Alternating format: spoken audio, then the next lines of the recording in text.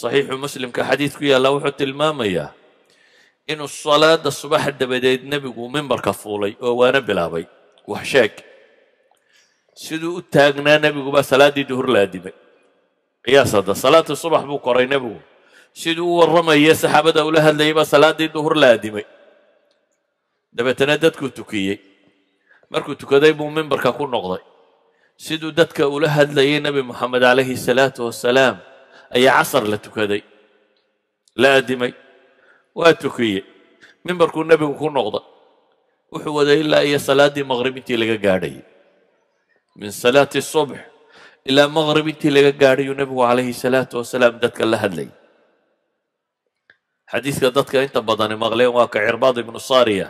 Saxaabigaasi xadiidka ku caanbaxay wuxuu leeyahy nebigaana tujiyey salaad subax markii uu salaada ka soo jeestay buu nagu soo jeestay buu yidhi fawacadanaa mawcidatan baliigatan darafat minha alcuyuun wawajilat minha alquluub.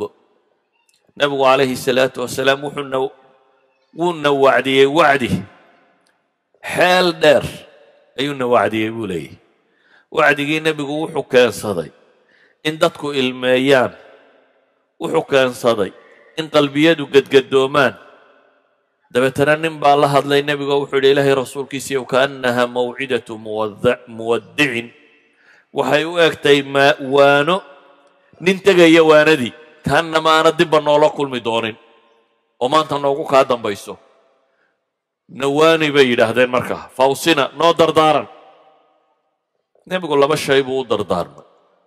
Labada shaya uu u dardaarmay waa labada shay ee sababa aakhirana dadku inay liibaanaan adduunkanna inay liibaanaan ka koowaad waa dadku inay ilaahay xadhigiisa haysto uusikum bitaqwa allahi buu nebigu yidhi waxaan idinkula dardaarmayaa ilaahay cabsashadiisa ilaahay ka dhowrsigiisa inaad ka dhowrsataan rabbi ayaan idinkula dardaarmayaa oo ilaahay subxaanahu wa tacaala jidkiisaas oo aad qabsataa waxay keensanaysaa aakhiriya adduunba inaad liibaanto waman yattaqi illaaha yajcal lahu makhraja wayarzuqhu min xaysu laa yaxtasib waman yattaqi illaaha yukafir ilaahay qur'aanka waman yattaqi illah waman yattaqi illahi misuu ku tilmaamay ninka ilaahay ka cabsada dembigiisa la dhaafaya ninka ilaahay ka cabsada mashaakilkiisa loo fudaya ninka ilaahay ka cabsada yajcal lahu min amrihi yusra arrintaa loo fudaydinaya ninka ilaahay ka cabsada yajcal lahu furqaan baa las ilaahay wuxuu tilmaamayaa haddaad alle ka cabsato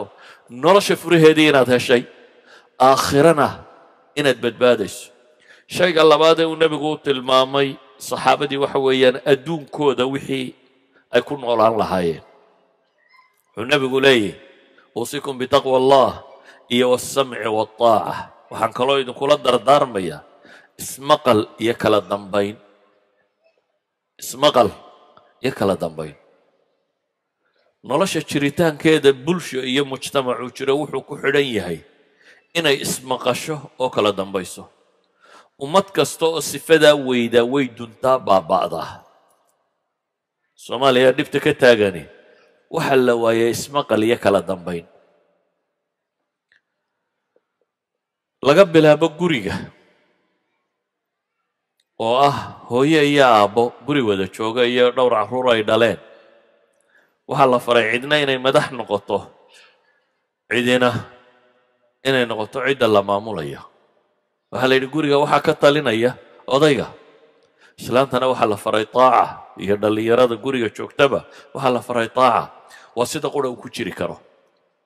Hadday shirkad tahay hadday masaajid tahay hadday urur tahay hadday xisbi tahay hadday dowladnimo tahay nolosha dhammaanteed administration bay ku salaysantahy maamul bay ku salaysantahy maamulle ma jiro haddaanu madax iyo mijo kale lahayn dad wada simani maamul maaha.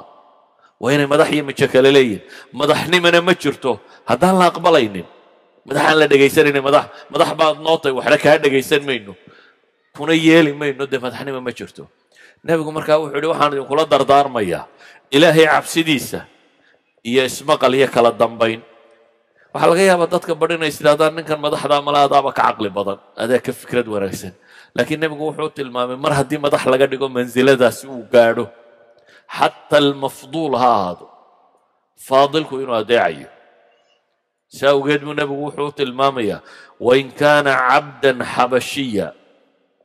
Ninka maamulka haya xataa ha noqdo addoon xabashiya. Addoon xabashigu ma maagis la maagaya maya? May waxa weeyaan alaslu fi shariica maamulka sare ma qabtaba xor qof aan ahayn yani addoon ma qabto. Haddana waxaa la leeyahay xataa hadduu maamulka noqdo addoon. Macnaha loo jeeda waa maxay? Ka idinku liitaa hadda hadduu noqdo maamulka laabud in kala dambayna ay jirto. Qofka ama waa in madaxnimada laga qaaday oo dee uu dhaadhacay ama hadduu madaxiya waa in la aqbalaa. Madax baa tay cidina ku yeeli mayso ma jirto. Waa madaxo anaa ka fariidsan ama anaa ka caqli badan wax jira maaha.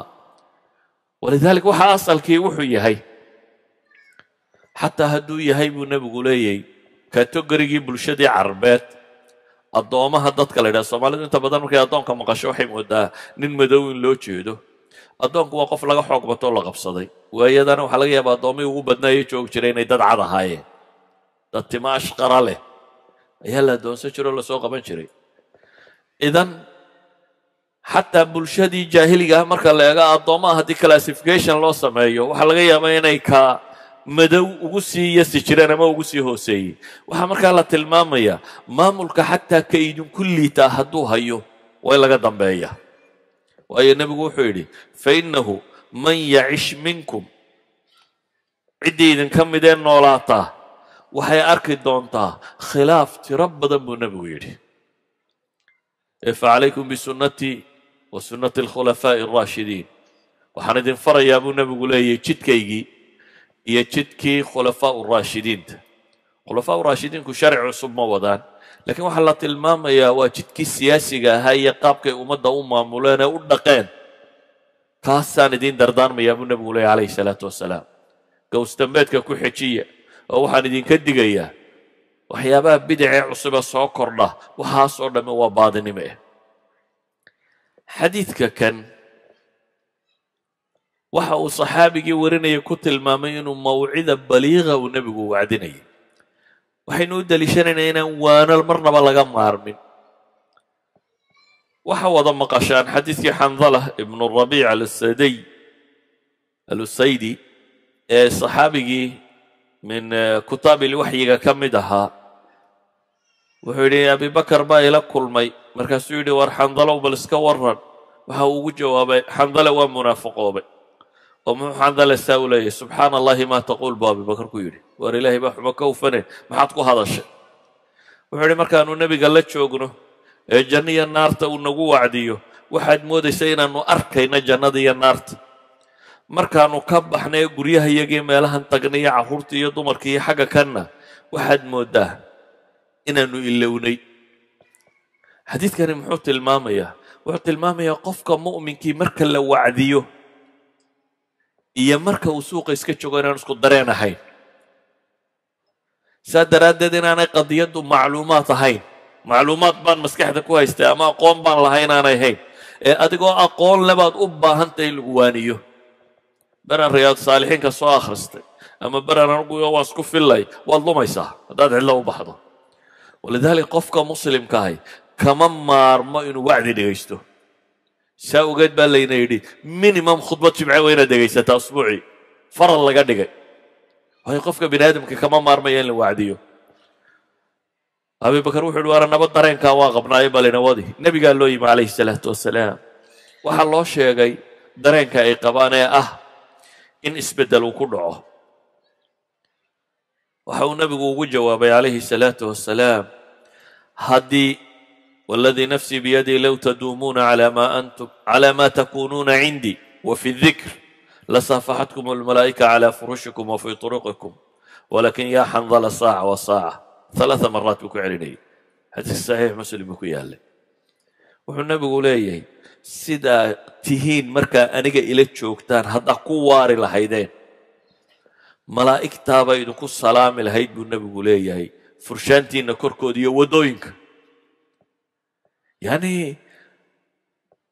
safka malaa'igtaa ku biiri lahaydeen haddaad dareenkaa mar kasta qabaysaan. Laakiin xandalow saacad iyo saacad buu nebigu yidhi. Saacad iyo saacad ma saacad suuqa la galay iyo saacad masaajidka la yimaadaaba maya. Waa saacad wixii mubaaxa iyo xalaasha ku ahaa. Haweentaadii xalaasha ku ahayd carruurtaada korintoodii xoogsigaagii cunnadaadii waxaagii mubaaxaadka aad ka shaqaynaysa ee diintu ku ogolay. Iyo saacad aad rabbigaa u gaar yeesho. Oo aad cibaadaysanayso oo aad wacdi dhegaysanayso oo diin kororhsanaysid oo u gaara. Maalintii siddeed saacadood baynu dunida siinaa soo maaha siddeed saacadood baad ama shaqo ku jirtaa ama waxbarasho ku jirtaa ama waxa ku jirtaa. Imise saacadood baynu siinaa ta kale. Waa wiiggii marka la isku dardaro maalintii shan gooro shan daqiiqadood wiiggii oo dhan maxay isku noqonaysaa? Seven times twenty five yani wiiggii oo dhan waa boqol iyo maxay? Waxoogaa waa waxaan laba boqol gaadhin. Boqol iyo shan iyo toddobaatan daqiiqadood ayay wiiggii oo dhan noqonaysa yani waa saddex saacadood wax ka yar. Wiiggii afartan saacadood baad shaqaysataa saddex saacadood oo wax dhibanna waa tukataa. Qiyaas labadaas may isu dheeli tiran waxaynu u baahannay inaynu masaajidda ku xidhanno. Waxaynu u baahannay inaynu wacdiga dhegaysanno. Waxaynu u baahannay jadwaladeenna iyo timetablekeenna inuu ku darsanto. Saacadeed ilaahay u gaar noqoto wardidid. Saacadaad wacdi dhegaysatid. Saacadaad diintaada iyo caqiidadaada kororhsatid saacadaad islaamnimadaada baratid walidaalika buu nabigu calayhi salaatu wasalaam saxaabadiisa masaajidku ku wacdiyi jiray oo suuqu ku wacdiyi jiray oo xabaalaha dushoodu ku wacdiyi jiray oo meel kasta wacdigu uu ka socday. Suuquu soo maray. Xadiiskii saxiixa ku yaalay dabeetana suuqii wax lagu kala iibsanayay markuu marayay buu arkay orgi yaroo bakhtiyey intuu nebigu dhegta qabtay waa orgi yaroo dhukan dhaga yaryar intuu qabtay buu wuxuu yidhi kan yaa dirham siistay waxay idhahdeen ilaahay rasuulkiisiiyo cidna kan dirham siisan mayso waryaa dirham siistay buu nebigu ku celinaya. Markii cidi juuqi weyday ayuu wuxuu yihi haddaba yaa bilaash ku qaadanaya. Yaa kan bilaash ku qaadanaya. Waxay ugu jawaabeen ilaahay rasuulkiisiiyo hadduu noolaan lahaa buu muciib yahy ayuu mid ceebayay innahu asak bay idhahdeen waa dhukan yey orgiiba buu marka horeba ahaa. Xoolaa dhadigaa la jecelyahy kani waa lab. Waa marka labaade ceeb buu leeyaho xataa orgi orginimo loola hadhaya maaha. Oo qiimihii in xoolaa lagu darsado wax ka dhala maaha. Saa daraaddeed ba waxay dhahdeen marka horeaba asak iyo aan u qiimo lahayn ee kii oo bakhtiyey maxaa lagu falayaa? Dabeetana nebigu calayhi salaatu wasalaam wuxuu u sheegay adduunka aa ku mashquulka tihiin oo dhan ilaahay agtiisa kaa waa kaga qiimo liitaa addunya kullaha daaraan dhistay iyo xoolaha shaqaystaiyo waxa waxa wadaan oo dhan haddii la ysku daro adduunkaynu mashquulku dhahay orgigaa bakhtiyey waa ka liitaa buu nebigu yidhi. Yani wuxuu nebigu rabaa inuu dareensiiyo aakhiradooda waxay geystaan inuu yahay waxa muhimka ah. Xabaal iyadoo nin saxaabiya la aasayo xabaashii la qoday oo aan weli luxudkii la jeexin buu wuxuu ku yidhi. Ul dhulka ku xarariiqay nebigu xadiidka imaamu axmed baa soo saaraya. Dabeetana wuxuu nebigu u sheegay calayhi salaatu wasalaam istaciidu billahi min cadaabi alqabr istaciidu billahi min cadaabi alqabr istaciidu billahi min cadaabi alqabr. Waar ilaahay ka magan gala cadaabulqabriga buu nebigu yidhi. Ilaahay ka magan gala ilaahay ka magan gala ilaahay ka magan gala. Waxay taasi tilmaamaysaa goob kasta joogo inaad wacdi u baahantay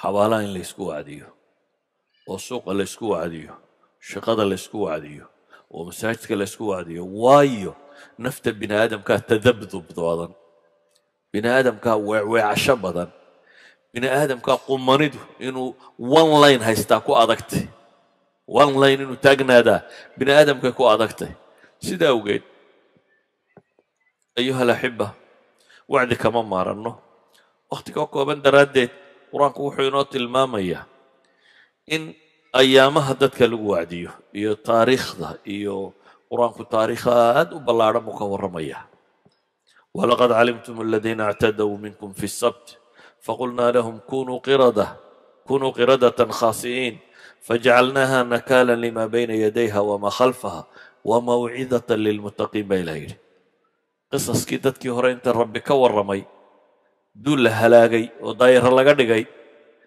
ayaa waxaa rabbi leeyahy waxaanu ka yeelay nakaalan lima bayna yadayha wamaa khalfaha ay cibra. Miday kuwaana qaataan baanu ka dhignay baa rabbi leeyahy kuwii joogay iyo gadaasheed dambe kuwa yimaadaaba waxay ku cibro qaataan. Iyo wa mawcidatan lilmuttaqiin waxay ku waantoobaan inta alle ka cabsanaysa ilahay qur'aanka wuxuu ku leeyay wakulan naqusa calayka min anba'i الrusuli ma nuhabitu bihi fu'aadak wajaءaka fi hadihi اlxaq wamawcidaة wadikra lilmu'miniin ambiyada qisaskeeda iyo rusushaa kaaga warramaya baa ilaahay leeyihi si qalbigaaga loo dejiyo diinta tanna qur-aankanna xaq baa lagu soo dejiyey iyo mawcida iyo wadikra wax waane u ah iyo xusid ilahay wuxuu qur-aanka ku sifaynaya hada bayaanu linnaasi wahudan wamawcidatan وموعظة للمتقين. إذا أيها الأحبة وانو كما وضع مارن ودمان تين اللي نواني يا بينو باهن قرآن كإلهي وحين وقام رمي يسوق أنبيا واني قال يا نوح إنه ليس من أهلك.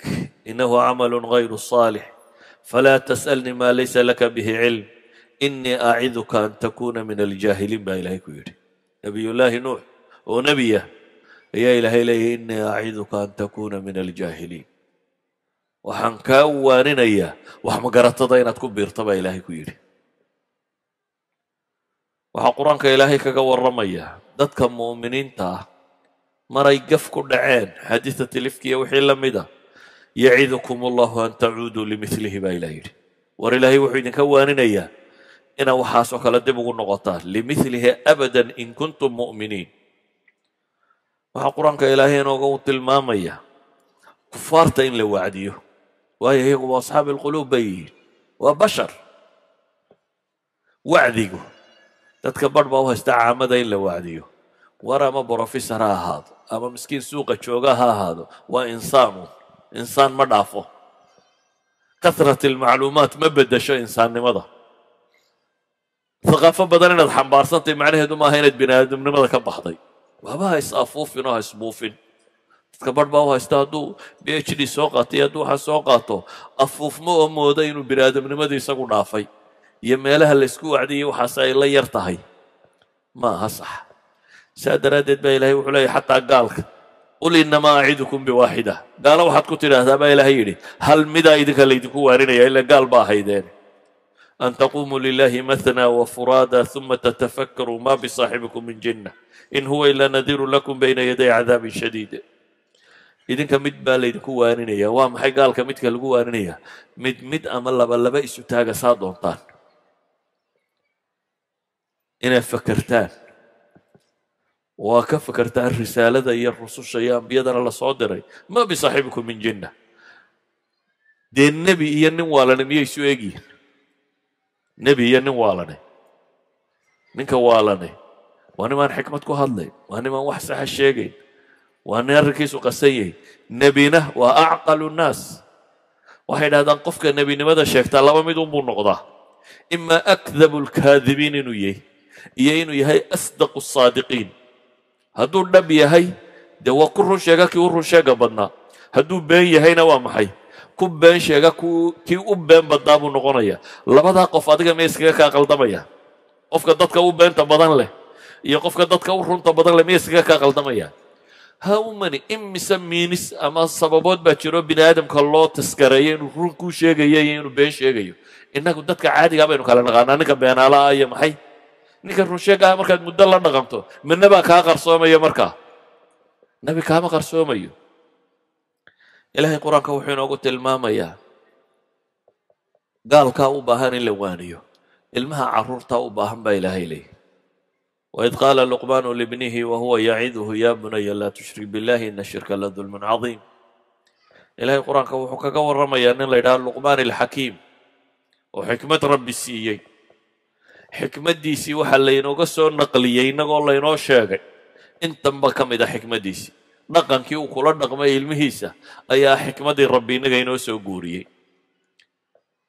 Luqmaan oo ilmihiisa waaninaya baa la yidhi oo ku leh wiilyarahaygiiyow yaa bunay waa tasgiir wiilyarow laa tushrik billaah ilaahay ha u shariik yeelin ilaahay waxa ku lamaanaynin. Waayo ina shirka la dulmun cadiim.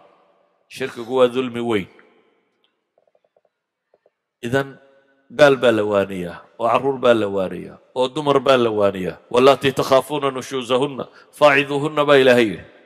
قبلني من كذا كم مدحتاكته وروانية بإلهي سبحانه وتعالى. قال دا منافق بالوانية. أولئك الذين يعلم الله ما في قلوبهم فأعرض عنهم وعذهم وقل لهم في أنفسهم قولا بليغا بإلهي. تمنافقين إلهيك والرمي أيها الرب وحولي نفاق وذاك oo waani. Oo waxaad ku tidhaahdaa war xeel dheer oo lafahooda gaadha. Mujrimkaa la waaniyaa gaanga iyo mujrimka. Hays odhanin warkani waa gaange muxuu maxaa maray? War waa bini aadam. Mahmaa facal wa facal bini aadamnimada kama bixin. Insaanna wacdi kama maarmo سيد الدرادد بإلهي وحول تلمامية وإذ قالت أمة منهم لم تعيذون قوما الله مهلكهم أو معذبهم عذابا شديدا؟ قالوا معذرة إلى ربكم ولعلهم يتقون. قال أصحاب السبت جي مركز سدح قيبات وقيب سمين. قار دنبي كي عين. Qaarna way waaninayeen qaarna way iskaga aamuseen. Kuwii aan waxbana waanin dembigana ku dhicin baa kuwii kale la hadlay waxay dhaaheen lima taciduuna qowman ilaahu muhliku? Waar duul alla halaagaya maxaa ka waaninaysaan? Dabeetana waxay idhahdeen waxaanu u waaninaynaa laba sababoodba. Annagu inaanu badbaadnay daraaddeed oo aan aakhira naloo qabsanin dadkaba waxma u sheegteen. Kuwa dhaforada xirta iyo kuwa khamrada caba iyo kuwa suuqa ku jira xilkayna saaran waa inaynu wax u sheegno. Isagu ama ha aqbalo ama ha diida isagay u taallaa lakiin inaga xilkayna saarani waa maxay? Waa inaynu waanino waanadaynu waaninayno innaguna waa ku badbaadaynaa walacallahum yattaquun. Iyana la arkee inay alla ka cabsadaan. Imisaad aragtay culammadan tabliiqa ah oo intay boob galeen dad ka soo kaxeeyey imisaa aragteen? Mid khamrigiisii wato soo qabtay. Yani waa bashar. Mahmaa facal wa facal waa bashar. Basharna waana kama maarmo ilaahay qur'aanka wuxuu inoogu warramayaa. Waanadu inay ka mid tahay asaaliibta diinta loo faafiyo. Idcuu ilaa sabiili rabbik bilxikma waalmawcidati alxasana wajaadilhum bilatii hiya axsan ina rabbaka huwa aclamu biman dalla can sabiilih wa huwa aclamu bilmuhtadiin. Dadka ilaahay ugu yeedh baa la yidhi nebiga calayhi salaatu wasalaam mawcida xasanana dadkaad ilaahay ugu yeedhayso xikmad kula hadal. Waa macquulaat shay caqliga gelaya. Waxaad kaloo kula hadashaa baa la yidhi waano wanaagsanna u sheeg. Hadday dood noqotona dood aan xagxagasho lahayn dood fiican kula dood baa ilaahay leeyahy subxaana wa tacaala. Ilaahay baa og baa markaa laynagu yidhi biman dalla can sabiilih wahuwa aclamu biman ihtada.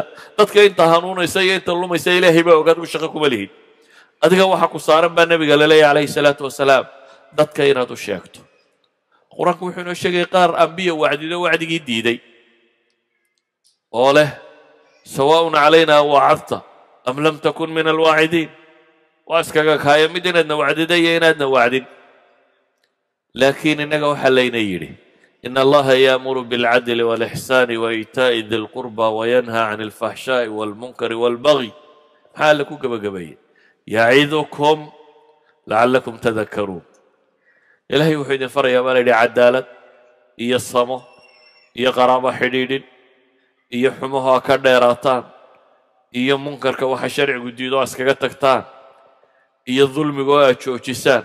War rabbi waa idin waaninayaa baa ilaahay leeyay yacidukum lacallakum tadakaruun waa khudbad jimco kasta inta badan aayadda aynu maqalno. Ilaahay wuxuu leeyay rab baa idin waaninaya waxaana la ydin waaninaya lacallakum tadakaruun ayuha alaxiba warkaygu wuxuu ku kooban yahay. Cid wal oo dunidan joogtaaba waanay u baahantay waxaad u baahantay inaad yeelato wakhti lagu waaniyo. Saxaabadii nebiga haweenkii baa nebiga u yimi waxay dhaha ilaahay rasuulkiisiiyow raggii baa nooga kaa xoog batay. Mar kasta rag baa kula jooga. Ee waxaad noo yeeshaa bay dhaaheen wakhti annagana aadna waaniso. Dabeetana nebigu calayhi salaatu wasalaam wuxuu u sameeyey maalin gaaroo iyagana waaniyo. Maalin gaaruu la kulmay oo iyagana waaniyey. Waa xadiidkii uu tilmaamayey tii saddex ilmood ay ka dhintaan ee sabirtay in aakhiro xijaab naareed alla uga dhigayo. Qof dumara istaagto waxay tidhi ilaahay rasuulkiisiiyo tii labana ku dar. Labana ku dar wasnayni wasnayn markay ku celcelisay ayuu nebiguna dhowr goor ugu celiyay wasnayni wasnayni wasnayni nebiguna yidhi calayhi salaatu wasalaam sidaa ogeed waana kama maarantid. Waana marnaba kama maarantid. Haddaad wadaad kitaaba soo akhrisay tahay waxaad u baahantahay waana iyo wacdi inaad dhegaysato. Haddaad oday tahay waxaad u baahan tahay waaniyo wacdi inaad dhegaysato. Dad dhallinyaro tahay waxaad u baahan tahay waaniyo wacdi inaad dhegaysato. Waayo qofka insaanka la yidhaahdo ayaa qumanida tooska ahi ku dhib tahay oo aan ka maarmin in wax la xasuusiyo. Walidaalika waxaynu isugu imanaynaa goobaha kani wuxuu yahay inaynu waana dhegaysano. Siiba dhallinyarada waxaan leeyahay. Waddankanaad timaadeen. Waa waddanno khatarah khatartiisu maaha nabadgelyadu ma xuma dhaqaaluhu ma xuma. Khatartiisu dhankaa maaha laakiin waxaa jooga khubaro dad ku ah. Dadka inay lumiyaan. Khabiir. Cid ku ah kharaa'ista sida loo kiciyo. Qofka bini aadamka khariisaadkiisa sida loo kiciyo cid khabiir ku ah. Khabiir cid ku ah shubahaadka. Khabiir cid ku ah inay brain wash kugu samayso. Waayo dowladahan iyo dadkani dad homogeneous ay u baahan yihiin dadka waa in systemka waxbarashoo dhami. Asal waxa waa dadka in la maydho. Hadduu kaasi ku qaban waayo systemka iclaamka oo dhami waa in dadka lagugu daro. Hadduu kaasina kuu taag waayo qaanuunka iyo booliiskaa kugu daraya. Qaanuunka waa inuu ku qabtaa. Idan integration integration integration baa maqli doontaan waxbaad la timi ka qaalisan waxay dadkani hayaan oo dhan oo inaad rabbi taqaano iyo sida loo caabudo. Wax ka qaalisan baad la timi oo ah waxyigii ugu dambeeye samada ka soo degay inaad garanayso. Haddaad wacdiga ka fogaato kaasi wuu kaa lumaya. Wuu kaa lumaya. Maalin walba marka wada tegi maysid waa dhab. Inta weli caqiidadu kuu nooshay waxay u badan tahay inaad marka wada tegin. Laakiin in yar baad u siibanaysaa in yar. Maalinba in baad siibanaysaa. Shan lix sane markaad joogtana adiga iyo swidishkaba in laydinkala garan waayaabaa laga yaabaa. Inaad madowday uun midab bunbaa laydinku kala sooci doonaa. Kana waa nin madow kana waa nin cad. Laakiin dhaqanka iyo afkaarta iyo aragtida iyo qiimaynta iyo si wax u arka iyo mustaqbalka iyo siduu rajaynaya iyo wuxuu rabo inuu qabto iyo wuxuba waa la isku darsami doonaa haddaba isku darsankaa waxaa idinka ilaalin doona. Biidni illaahi tacaala waa inaad ku xidhnaato. Inta wacdi meel kuugu dhow iyo meelaha rabbi laysku xasuusiyo iyo aakhiro. Meeshii aakhiro lagugu xasuusinayo ee rabbi lagugu xasuusinayo inaad ku xidhnaato. Wsala allahuma cala muxamadi wala alih wasaxbi wasalam walxamdu lilahi rabbi alcaalamiin